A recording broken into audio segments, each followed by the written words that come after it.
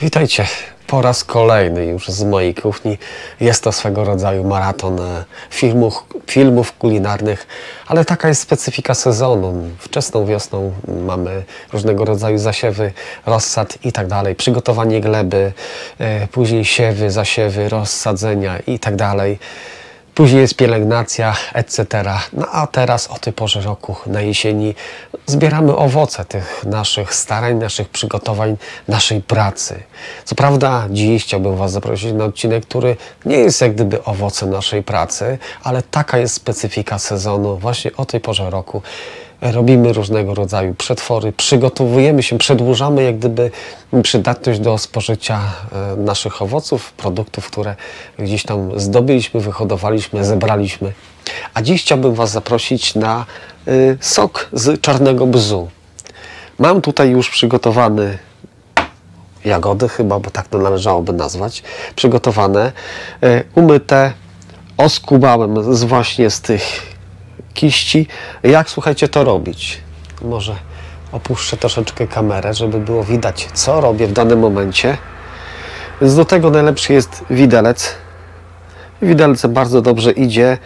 E, no niestety ja w tym roku, w tym sezonie, no mam mało bzu, mało jest owoców. Może już jest późna pora, aczkolwiek jest mm, część jeszcze jest zielonego, niedojrzałego, ale spora część właśnie już opadła, jest sucho, jest cały czas sucho, to wszystko gdzieś tam opadało, po usychało, część już opadła, e, więc no niewiele udało mi się znaleźć, ale mam jeszcze kilka takich miejsc, gdzie jeszcze jest na wpół zielony, jest sporo zielonego, to ten, który późno kwitł, zresztą tutaj koło mnie pokazywałem Wam w lipcu jeszcze kwitł bez, więc ten, który zakwitł późno, no w tej chwili e, dopiero zaczyna dojrzewać.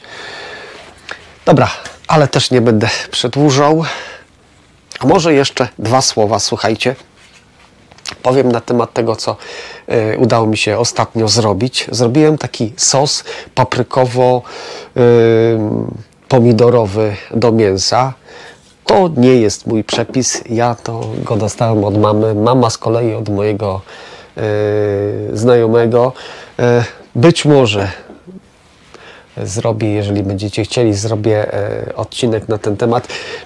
Ja to wczoraj sobie przyrządziłem do mięska, bo to jest sos do mięsa e, i powiem Wam szczerze, że zrobiłem wczoraj sobie e, potrawę z użyciem tego sosu. Jeżeli chodzi o mnie, według moich smaków to był strzał w dziesiątkę, więc jeżeli będziecie zainteresowani wykonaniem tego sochu, sosu, ewentualnie użycie go, w jaki sposób go użyć, do czego go użyć i tak dalej, no to zrobię taki odcinek.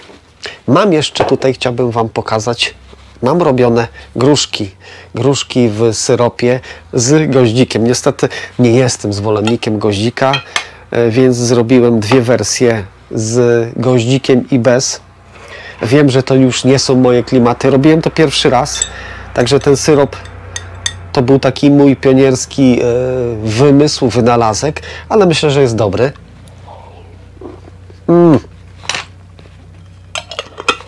I gdyby nie ten goździk, słuchajcie, to byłaby rewelacja. Ale i tak jest po prostu smaczny, ale goździk jednak przejął cały ten smak, aromat, więc jest dominujący. Z grubsza sobie tutaj ogarnąłem. I tak, mam przygotowany garnek, wlewam do garnka wodę.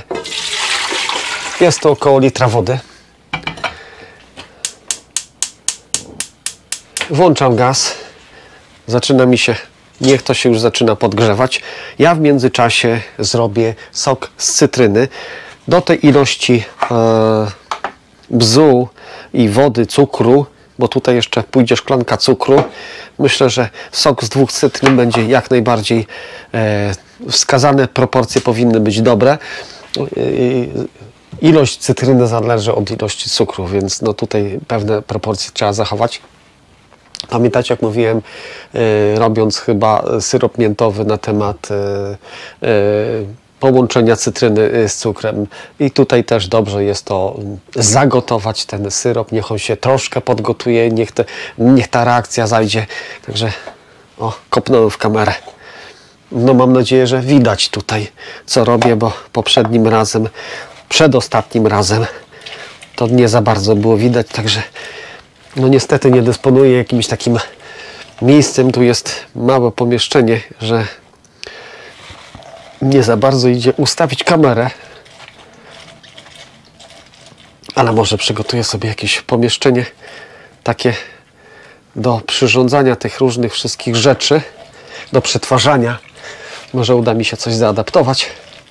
Wtedy zrobię sobie taki kącik, e, który będę mógł poświęcić właśnie do nagrywania filmów, żeby było wszystko jasno i klarownie i ek- wyeksponowane, żeby można było zobaczyć co robię, a tak widać po prostu moje plecy.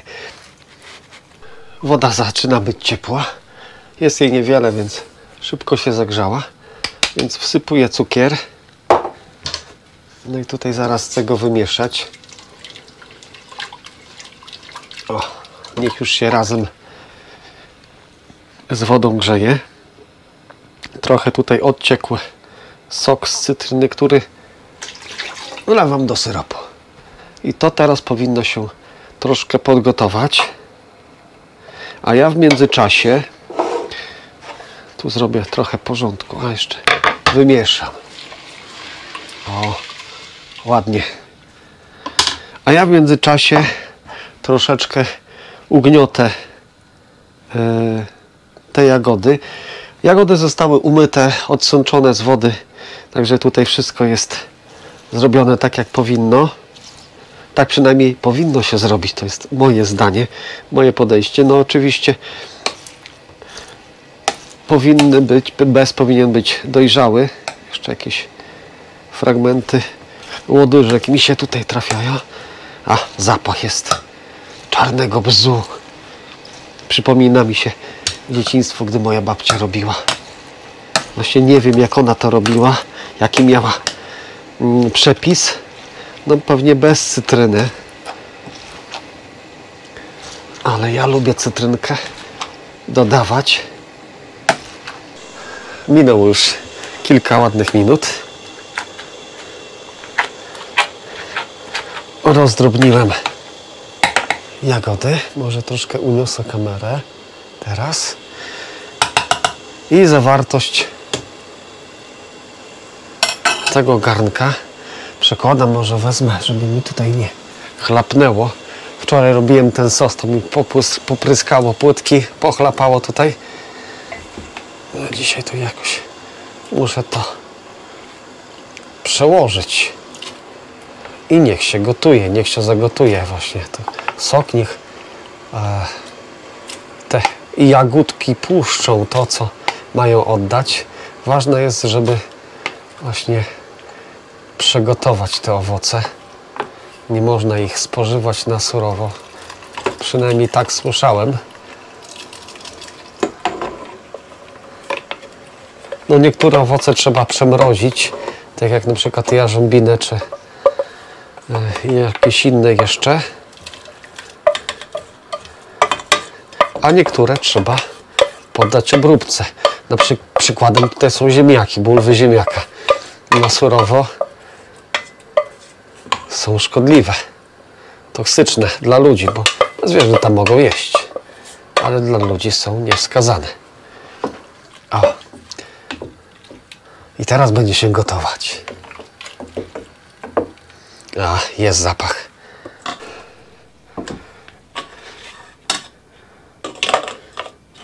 Myślę, że już bez się ugotował. Teraz należy go przesadzić przez sito, tak żeby ten miąższ został jeszcze ciepłe.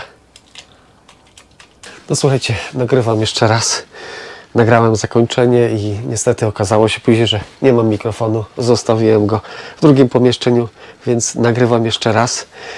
Yy, sok mam już y, odsączony, zagotowałem go, więc taki wrzący, wrzącym sokiem zalewam słoiczki. Soli, słoiczki mam mniejsze 0,2 litra, bo to jest lekarstwo, więc e, trzeba je zużyć po otwarciu. Zalewam gorącym sokiem słoiczki. Słoiczki są, tak jak mówiłem, 0,2 litra. Tutaj muszę dopełnić je wręcz z aptekarską dokładnością.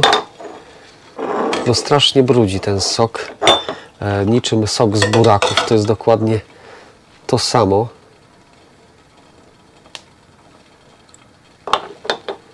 Także będę miał tutaj sprzątania. Kuchenkę trzeba będzie domyć. Ale to nic. Po coś się to robi, to jest dla naszego zdrowia, dla mojego zdrowia, dla zdrowia mojej rodziny. No i pewnie zabraknie mi słoiczka. Ze dwa słoiczki jeszcze pewnie wyjdzie. Więc może przeleję to wszystko do jeszcze większego. Nie mam już takich małych. Będę musiał kupić. No być może jeszcze uda mi się pozyskać trochę czarnego bzu. No może słoiczek. Jeszcze trochę. Dobra. No na pewno pobrudzę. No i sprawdzam, czy jest suche. Jest suche. Więc tak jak zawsze zakręcam na gorąco. Nie pasteryzuję tego. Uważam, że nie ma takiej potrzeby. To jest tylko i wyłącznie moje zdanie. No, wyłączę. Muszę sobie znaleźć jeszcze słoiczek jeden. Jeden słoiczek, żeby tą resztę zawekować. Dobra, słuchajcie. To będzie na tyle. Zobaczyliście, jak pracuję. Eee, nie będę już przedłużał, ale powiem jedno, że e, właśnie takim tanim sposobem, w prosty sposób można y, przygotować się na nadchodzącą zimę, na ten trudny czas, y, robiąc różnego rodzaju soki, syropy i, i, i takie różne rzeczy naturalne, y, które to wspomagają nasz układ odpornościowy. Zupełnie inaczej działają jak chemia, która o, uderzyłem, chemia, która rozregulowuje nasz organizm, nasz układ odpornościowy. To jest naturalne, więc natura wie, co robi, a my powinniśmy się tylko y, przyjrzeć jej, podpatrzeć, dostosować się, y, zaadaptować do naszych potrzeb. No i, ja z, w ogóle z takiego założenia wychodzę, że mm, my jesteśmy częścią tej natury, tego świata i powinniśmy go traktować jak część siebie, więc powinniśmy dbać tak samo jak dbamy o naszą rodzinę, e, bo to jest część nas. Ja uważam, że y, nie liczy się tylko ja tu i teraz, tylko liczy się całokształt. My jesteśmy takim, taką wielką rodziną, tutaj życie na Ziemi jest taką wielką rodziną, e, więc powinniśmy o tą rodzinę swoją dbać. Nie na zasadzie, że ja będę cwańszy, będę mądrzejszy, to wydrę komuś coś i będę miał. No niestety, e, tak jak mówiłem kiedyś na przykładzie wody, bierzemy z jednego miejsca, mamy tutaj sok, więc biorę z tego miejsca. Przez chwilę mam to w tym, ale gdy sobie tutaj z boku wyleję, wszystko się wyrównuje. I tak właśnie w życiu jest, że nam się tylko wydaje, to jest takie mm, chwilowe zauroczenie. Nam się tylko wydaje takie pozorne, że coś zdobyliśmy. Niestety, tu zdobyliśmy, tam oddaliśmy. Wszystko się wyrównało. To by było na tyle, słuchajcie. Nie chcę przedłużać, ale wiem jedno, że im więcej swoich takich e, przetworów, wyrobów, tym śmielej, odważniej patrzymy w przyszłość. I dopóki nam jeszcze nie zabronili uprawiać własnych ogrodów, zrywać właśnie takich e, darów natury, nie ma się czego bać. Dziękuję Wam za obejrzenie, za ten poświęcony czas, za wszystkie ciepłe, miłe komentarze. Mam nadzieję, że jeszcze nie raz e, pokażę Wam coś. E, no nie powiem, że zaskoczę, ale pokażę Wam coś ciekawego, bo pomysłów mam już sporo. Zrodziło mi się teraz sporo takich kulinarnych, e, ale może coś jeszcze pokażę z zagrodu, e, gdzieś tam z podwórka, także mm, gdzieś z terenu, o inaczej mówiąc, z terenu pokażę Wam coś ciekawego. No mam nadzieję, że, że to się Wam spodoba. I to by było na tyle. Dziękuję Wam, pozdrawiam Was serdecznie jeszcze raz, bo ja tak się kilkakrotnie żegnam. Trzymajcie się ciepło i zdrowo i do następnego razu.